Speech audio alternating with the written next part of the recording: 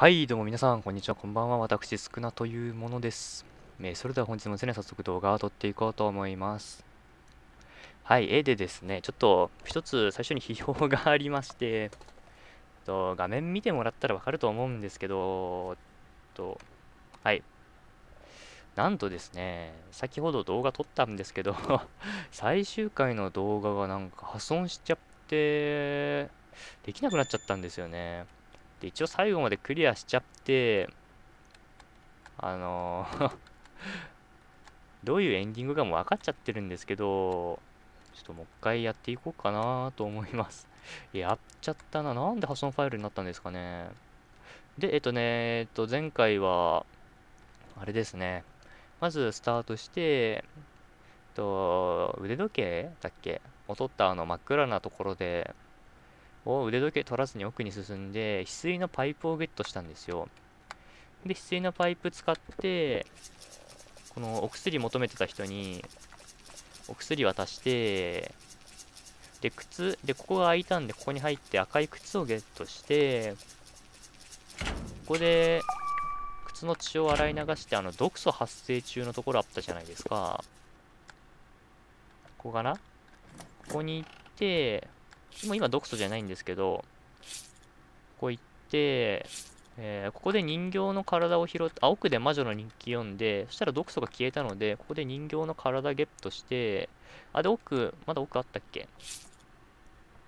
あそれだけじゃなかった気がするな。そうですね。で、ここに入って、今ちょっとどんどんなってるんですけど、あの変なメンタムがいる部屋で、人形の頭ゲットして、で、戻ってきたところで終わったんですかね。なんで動画にすると10分ぐらい ちょっと 無駄に撮っちゃったなーって感じですね。で、なんか戻ってきたら部屋がこんなになってて、うわーってなったところで終わったんですよ。で、えっ、と、あれ？さっきエンディングまで言ったって間違えて言っちゃったかな。とりあえずここで終わったんで、ここからちょっと先やっていきましょう。で、なんかとんいろいろととんでもないことになってるんですよね。お母さんは私を捨てようとした。お父さんは私を見ていなかった。で、これ多分あのー、魔女のお父さんとお母さんのことでしょうね。牢屋に閉じ込めたのかなで、なんかこんな嘘ついてた赤い草も変になっちゃって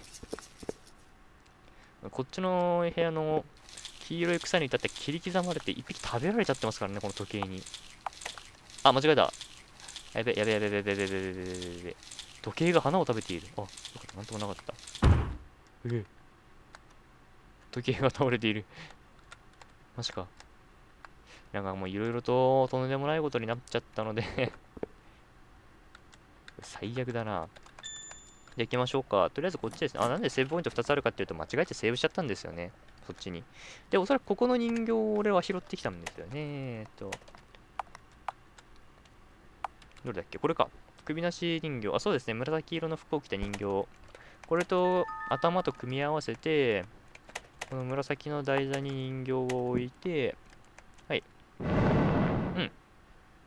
で、穴が開いているので降りると。本当に。さあ、そろそろ物語も佳境な気が、んなんだここ、進めてるのかな横には行けないから、多分上に進むだけでいいんでしょうね。で、あとここ走れないですね。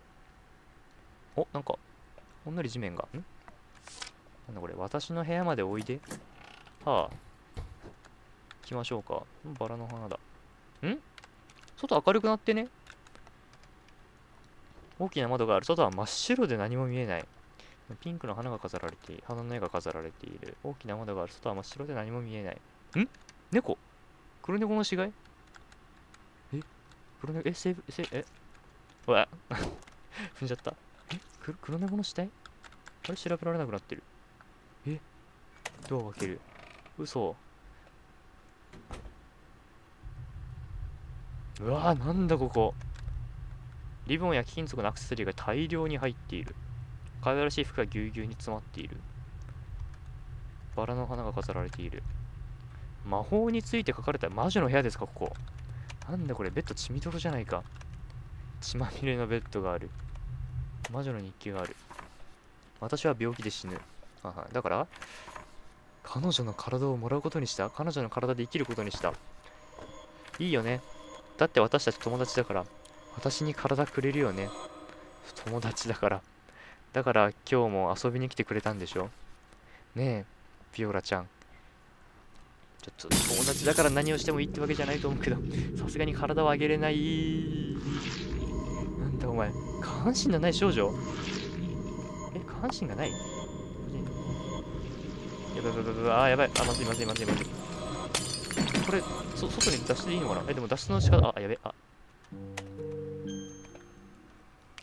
やっちゃ やっちゃったな。やりすぎましょう。ここで出てちょっとあそこ難しいな。階段のここここ。やばいやばいやばいやばいうわなえどこここあ最初のとこだいやーちょっと待って待って待って待って冗談じゃないやばいやばいやばいおいよしよしよしよしよしよしよし外に出れたぞでもここで油断するとおーああれ来ないの扉は固く閉ざされているマジかついに脱出ですかねあでなんかさっきのあのなんか目玉に追っかけられたみたいなところの部屋でこれゲットしたんですよ。魔女のバラを枯らせる甘い香りがする薬。なんでこれ多分いいのかな？ん？なんだこれ？手紙？入れましょう。手紙を手に入れた。え？でも手紙持ってるくない？なくしていた手紙の前半部分。なるほど。ビオラへ。昨日は怒鳴って悪かった。森の奥には魔女が住んでおっとごめん。ちょっと今ガサッとあごめんなさい。ガサッとなったような。迷い込んだ子供をさらうって昔から伝えられて言われていてな。その友達の家が森の近くだって言うから心配になったんだよ。その友達エレンちゃんだっけ？その子の家に。あで続くんですね。その子の家に点々点で遊びに行くのは構わないがあまり森の奥には近づかないようにな。早く帰ってくるようにみたいな感じで。なるほど。エレンの家になってる。ってことはあれなんですかね。魔女がエレンちゃんでビオラちゃんの体を欲しくてなんか友達にななってくれたんで体もらえるでしょみたいな。すごい無理やりな気がすんな。かわいい小瓶。はいバラに小瓶の薬をかけた。おーバラが枯れた。でこれで脱出ですね。うんうん。でなんかあるんですかね。うーん。ん？誰だ？初めてこの2人以外の登場人物が出てきたけど。ビオラ？ビオラなんだな。無事かああビオラのお父さん。どこも怪我してないか。あ助けに来てくれたんですね。ああよかった。わ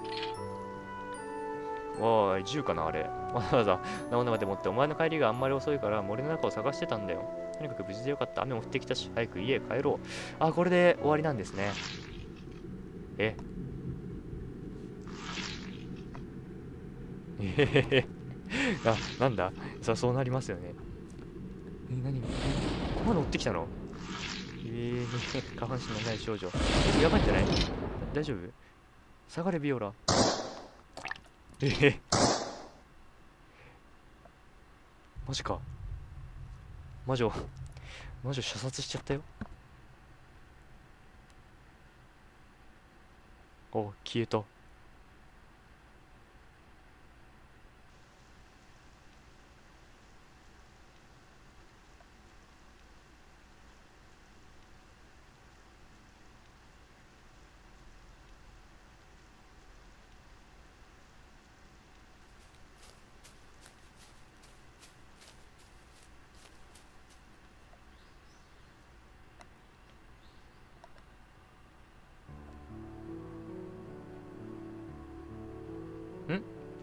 終わった。